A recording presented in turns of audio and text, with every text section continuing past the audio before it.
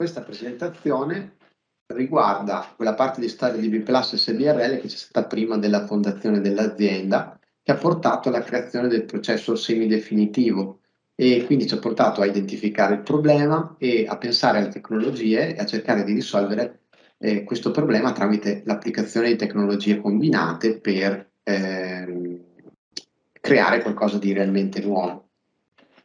Inizialmente la problematica che ci eravamo preposti di risolvere era risolverne due problematiche assieme, ovvero una, il fatto che esiste una grandissima quantità di plastica che viene dispersa in ambiente.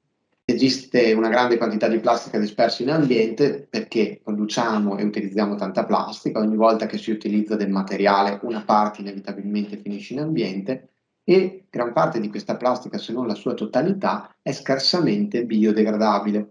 Per questo alcuni hanno proposto di sostituire una parte di questa plastica con plastica biodegradabile. Esistono delle alternative che, anziché accumularsi nell'ambiente e trasformarsi in micro e nanoplastiche, che sono a tutti gli effetti degli inquinanti persistenti, possono biodegradarsi e trasformarsi in CO2 ed acqua. Tuttavia queste bioplastiche di solito sono molto costose, più costose, fino al doppio, al triplo, a seconda delle proprietà necessarie rispetto alle plastiche fossili.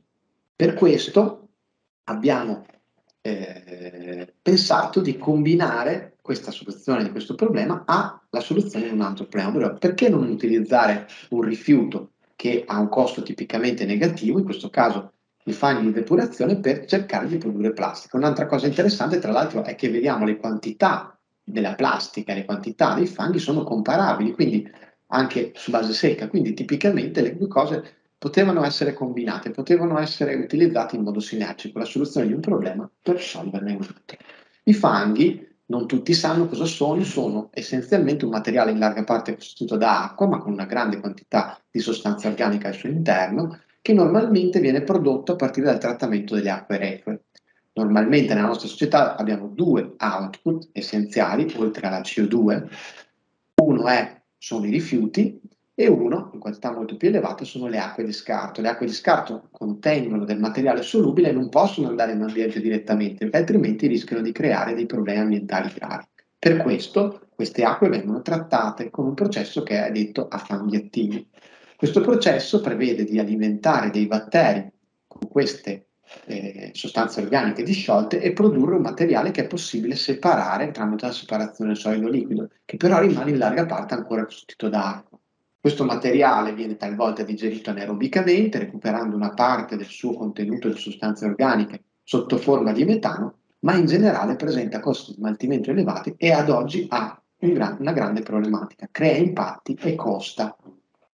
Per questo negli anni, negli ultimi anni, circa dal 2014, nasce la storia del polidrossilcanoato a Ravenna, abbiamo cercato di combinare questi due problemi e a studiare e di imparare a utilizzare tecnologie che in realtà erano già disponibili. Abbiamo provato, per esempio, che era possibile utilizzare dei batteri, culture microbiche miste, quindi a bassissimo costo. Vedete qui in basso a sinistra il primo reattore. Costava in totale circa 250 euro, incluse due pompe prese un'asta fallimentare di un acquario e cose raccolte eh, alla spicciolata.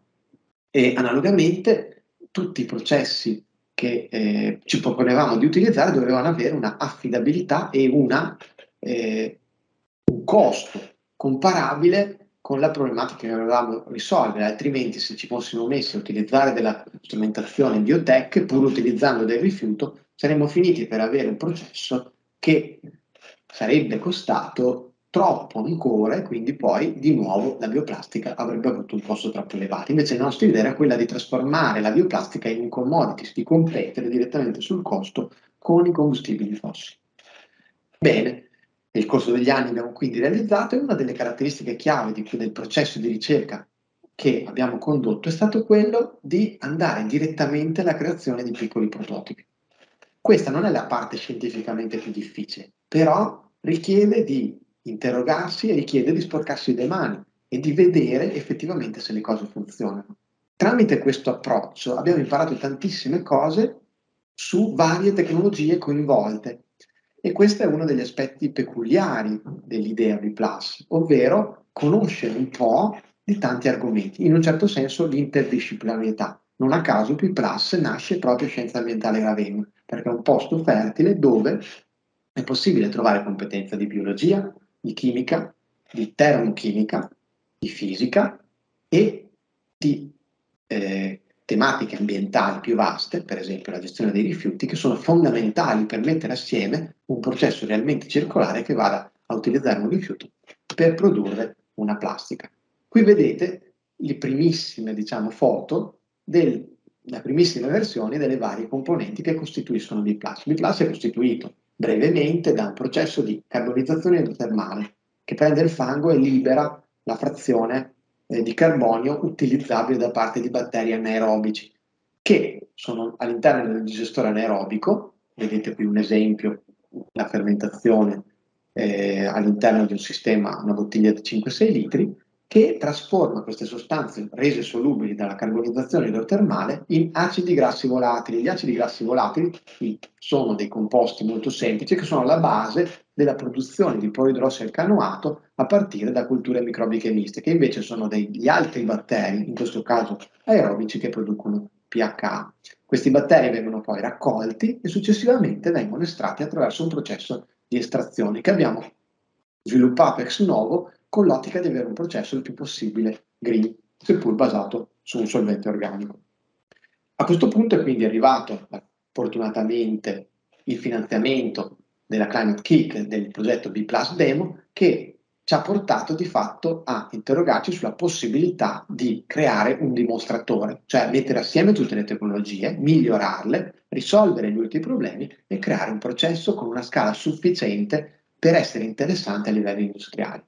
Abbiamo quindi combinato quattro mh, processi chiave, cioè la carbonizzazione idrotermale, la digestione anaerobica e la separazione solido-liquido, la digestione aerobica, che sono sostanzialmente delle vasche contenenti batteri per la produzione di pH tramite il meccanismo fist and fanning, e infine l'estrazione con un solvente green, cioè con un solvente sostenibile che non creasse più problemi di quelli che cercavamo di risolvere. Come vedete, i vari passaggi erano caratterizzati da un punto di partenza differente e quindi abbiamo cercato di velocizzare quelli più indietro e di dimostrare quelli che erano più maturi, unitamente all'idea di mettere tutto assieme, che non è mai banale a livello industriale. Anche quando si mettono assieme processi esistenti, bisogna eh, lavorarci, bisogna comunque cercare di coordinare il tutto e far avvenire tutto il processo con una certa armonia.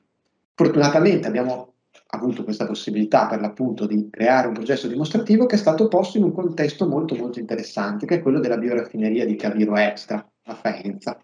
Caviro Extra è una distilleria inizialmente ed è diventata una bioraffineria, nel senso che trattando il proprio fango, trattando altri scarti agricoli e trattando fango proveniente dalla filiera agroalimentare dell'Emilia Romagna e di altre regioni, di fatto eh, si presenta come un, un bel contesto dove testare la circolarità. In questo contesto ci siamo posti come obiettivo quello di prendere il digestato derivante dalla digestione anaerobica dei fanghi, quindi già lo scarto derivante dal trattamento degli scarti, e ottenere per l'appunto del polidrosselcanoato in un contesto industriale reale. Qui vedete appunto dove è l'impianto dimostrativo, una bella foto con dei bei colori dopo un temporale, e vedete appunto com'è costituito. Tutte le componenti sono componenti industriali standard, abbiamo dovuto metterle assieme, abbiamo fatto anche tanti errori e abbiamo imparato da questi errori. Proprio il fatto di fare cioè, e di imparare molte cose che prima non sapevamo ci ha poi permesso di interfacciarci con realtà industriali, prima tra tutto per l'appunto Acceptance, che poi ci ha accompagnato nell'ultimo miglio della dimostrazione eh, industriale e quindi nella creazione dell'azienda che attualmente per l'appunto si occupa di migliorare ulteriormente questo processo e di portarlo finalmente a uno sviluppo commerciale. Grazie a tutti per l'attenzione e vi lascio alla successiva presentazione riguardante Bplus SBRL.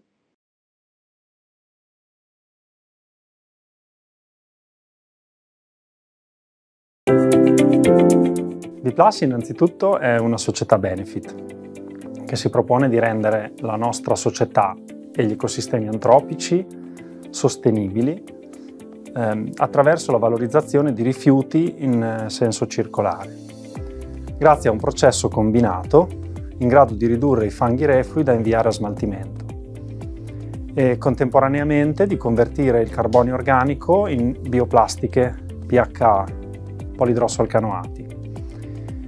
B-Plus è anche una startup innovativa, costituita nel febbraio 2021 a Lugo di Romagna e incubata all'interno di DM Filtration, che ha creduto nel processo e nella proposta di valore fondante. E ha deciso di non essere solo investitore finanziario, ma di aggiungere un'infrastruttura concreta fatta di competenze manageriali e ingegneristiche, esperienza di progettazione di grandi impianti industriali, capacità gestionali di filiera e, non ultimo, le officine di assemblaggio. DM Filtration da decenni è un leader globale nelle tecnologie di separazione solido-liquido industriali. Propone tecnologie che permettono ai modelli lineari di sfruttamento e gestione delle risorse di essere più sostenibili. Qualche anno fa eh, DM Filtration ha deciso di rimettersi in gioco e dare nuove risposte a quella parte di società che sostiene fortemente un Green Deal italiano ed europeo e ha quindi voluto ridefinire la propria identità e professionalità in un ambito di economia circolare. Parole chiave, fanghi reflui, innovazione tecnologica, radicamento al territorio. La costituzione della startup innovativa B Plus è stata una conseguenza naturale di questo processo.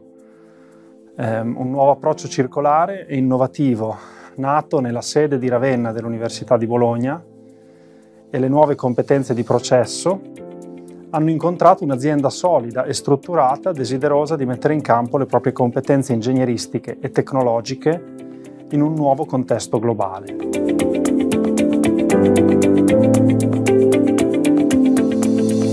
È così. V integra competenze biotecnologiche e chimiche di processo a quelle ingegneristiche di impianti e le mette a sistema per trasformare un rifiuto sempre più problematico e in crescita quantitativa, cioè i fanghi reflui, in una nuova risorsa ad alto valore aggiunto, cioè le bioplastiche.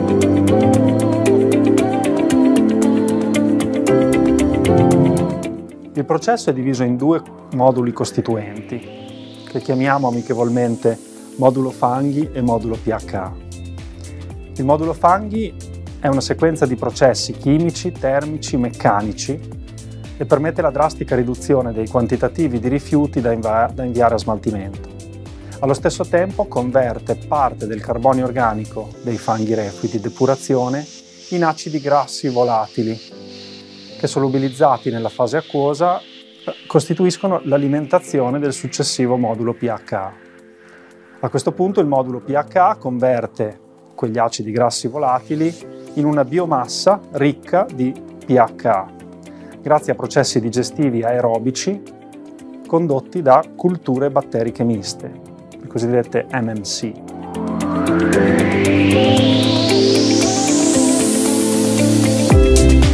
La circolarità del processo si espleta in più modalità contemporaneamente, dirette e indirette. Il primo vantaggio diretto è la riduzione dei rifiuti da inviare in discarica, o a termovalorizzatore o ad altri destini di fine vita. Di conseguenza è ridotta indirettamente la necessità logistica dei trasporti connessi, che per lo più eh, sono fatti via camion. In secondo luogo, sanifica le acque e semplifica il loro recupero dai processi industriali, rendendola nuovamente disponibile all'ambiente.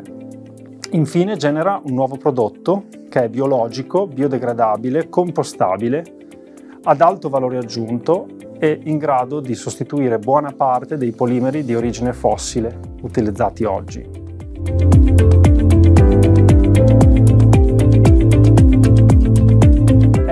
È, un team multidisciplinare innanzitutto, composto da giovani e brillanti ricercatori provenienti dall'università affiancati da profili senior sia di estrazione accademica sia aziendale.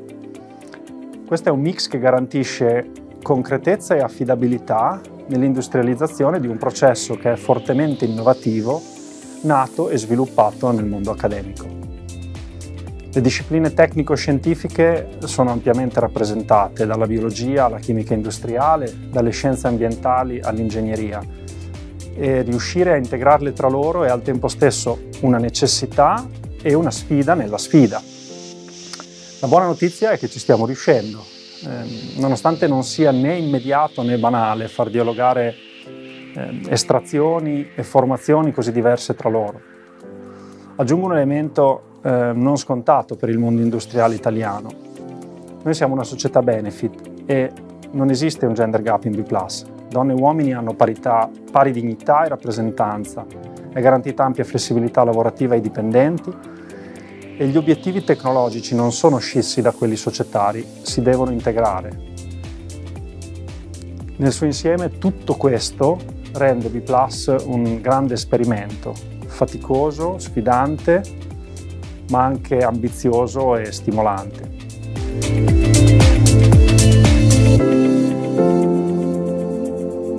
Beh, la prima sfida è senz'altro quella di scalare industrialmente la tecnologia, quindi di trovare un partner che ci dia la fiducia necessaria per realizzare un demo plant in grado di produrre eh, PHA in quantitativi significativi che ci permettano di avviare gli studi merceologici e le sperimentazioni di formulazione dei prodotti finiti in PHA.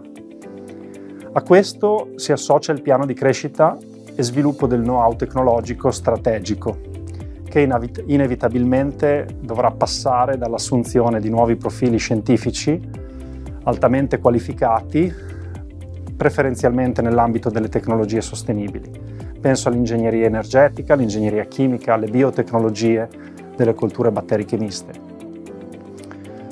Contemporaneamente stiamo completando il laboratorio interno per condurre sperimentazione in regime continuo su campioni reali provenienti da diversi processi industriali. Tutto questo presuppone che B eh, prosegua attivamente una strategia di ricerca e sviluppo continua e che affianchi e sostenga la commercializzazione della tecnologia proprietaria.